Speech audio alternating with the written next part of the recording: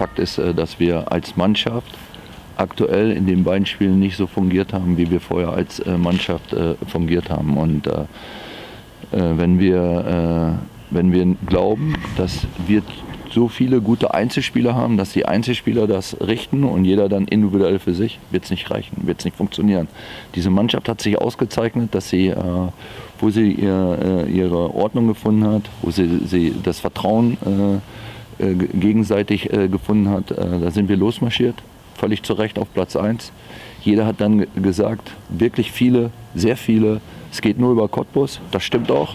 Das haben wir auch so gesehen, auch in der in der Betrachtung, äh, wenn wir andere Spiele beobachtet haben. Wir wussten oder wir wissen, dass es nicht einfach ist, aber wir wissen, wenn wir bei uns bleiben, wenn wir Woche für Woche an unsere 100 Prozent kommen wollen, also das reicht dann auch manchmal gut, aber im Moment sind wir mangelhaft bis äh, ungenügend und dann hat das nichts mit Rhythmus zu tun, weil Rhythmus kommt nur durch Intensität, durch äh, kurze Abstände, durch gute Organisation, durch gegenseitiges äh, äh, äh Vertrauen. Und mein Gefühl ist halt einfach, dass wir äh, jeder so ein Stück für sich spielt. Und das ist dann das Bild, äh, was wir abgeben. In, äh, wenn man äh, Babelsberg noch dazu nimmt, äh, da haben wir ein Tor aus einer Standardsituation gemacht. Wir haben aus den letzten drei Spielen ein Tor aus der Standardsituation gemacht. Für eine Mannschaft, die Tabellenführer ist, die meisten Tore erzielt hat, eigentlich die meisten Torraumaktionen in der Hinrunde hatte, ist das, ist das, ist das, ist das äh, Minus und äh, kann eigentlich ge äh, gefallen, ist auch berechtigt äh, Kritik. Was ich dann auch äh, äh, empfinde, wenn dann Leute enttäuscht sind, dennoch haben wir in den restlichen Spielen die Möglichkeit, das zu korrigieren. Ich habe mehrmals darauf hingewiesen, es kann auch mal ein Auf und Ab geben. Es kann auch mal eine Phase geben, wo wir nicht so punkten, dennoch ist dann nichts verloren. Nur wenn wir die Leistung nicht korrigieren nach oben, extrem nach oben korrigieren, dann wird es, das, wird es nicht reichen. Ich lege immer den Finger in den Wunde. Also ich, ich sage das, was gesehen wird. Ich, wir zeigen das, äh, was aus meiner Sicht gezeigt werden sollte. Und den Spielern äh, das auch dementsprechend mitzugeben, was da falsch ist und was wir falsch machen.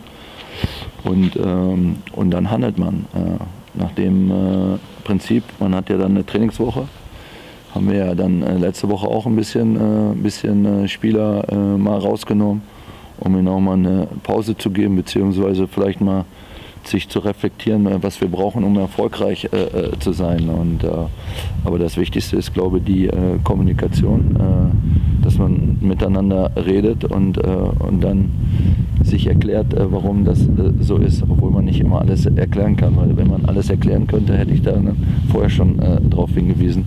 Ich war fest davon überzeugt, dass wir am Sonntag in Luckenwalde das Spiel gewinnen. Gegen Altklinike war es so, dass ähm, wir da auf einen sehr, sehr guten Gegner getroffen haben die das in dem Spiel gut gemacht haben. Wir natürlich weniger äh, gut, aber damit konnte man noch leben. Nur am Sonntag haben wir eine Mannschaft äh, stark gemacht, die gegen uns grundsätzlich keine Chance haben kann. Beide äh, können äh, Mehrwertspieler äh, werden, habe ich auch der Mannschaft gesagt, habe ich auch der Mannschaft äh, gezeigt. In zehn ähm, Dings hat hundertprozentigen, tausendprozentigen Elfmeter nicht bekommen.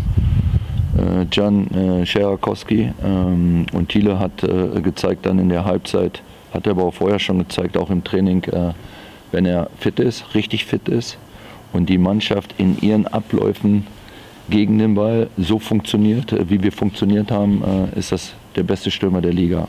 Aber nur dann, wenn die Mannschaft auch wieder in ihrer, in ihrer Spur kommt. Ansonsten sind Spieler in der Winterpause dann wirken sie wie äh, Fremdkörper. Äh, und das gilt es jetzt äh, äh, zu, zu beheben. da sind wir für verantwortlich.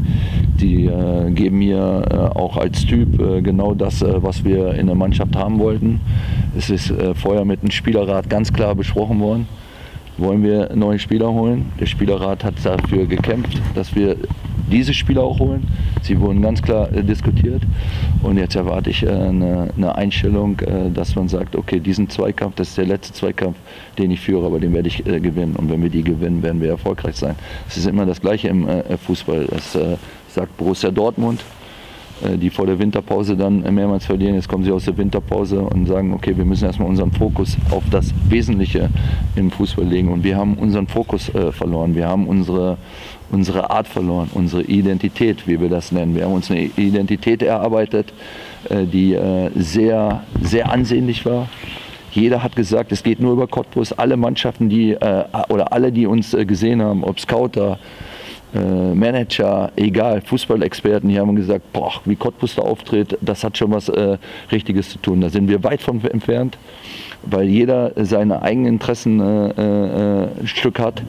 Und, äh, aber Sie können mir glauben, ich habe das diese Woche wieder angesprochen und werde das weiter ansprechen, werde weiter den Finger in eine äh, Wunde legen, weil sich zurücklehnen und zu sagen, okay, dann ist es halt so.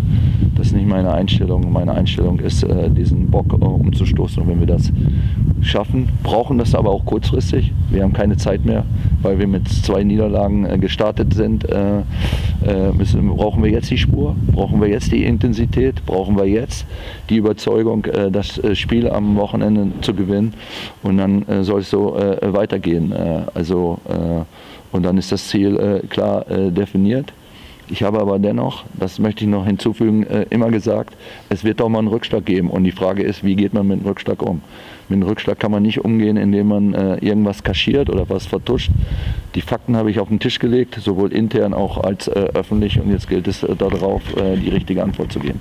Ja gut, das Hinspiel war das dritte Spiel.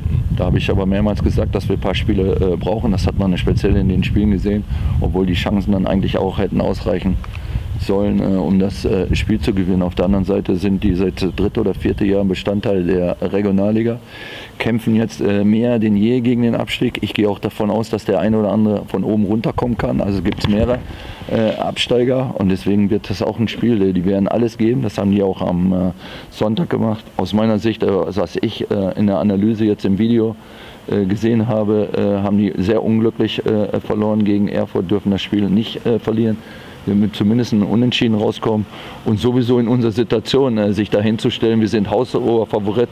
Äh, ganz ehrlich, ich sage das nie, vor keinem Spiel, dass wir haushoher Favorit sind. In dem Spiel, was dann gespielt wird, wenn wir unsere Form auf die Platte bringen, unsere Abläufe, vor allen Dingen unsere äh, Zweikampfführung und unsere Intensität, unsere Sprintwerte äh, in den letzten beiden Spielen sind unterirdisch. Unterirdisch, das Schlechteste in der äh, Saison.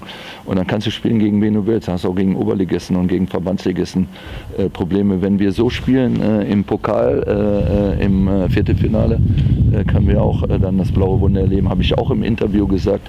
Es scheiden ganz, ganz oft höherklassige Vereine auf. Wir müssen wieder zu uns finden. Wir müssen zu unseren Vertrauen Vertrauen finden. Aber Vertrauen ist auch gegenseitiges Vertrauen. Ich vertraue meinen Mitspieler. Ich habe mit meinen Mitspielern die feste Überzeugung. Das habe ich in den beiden Spielen nicht gesehen.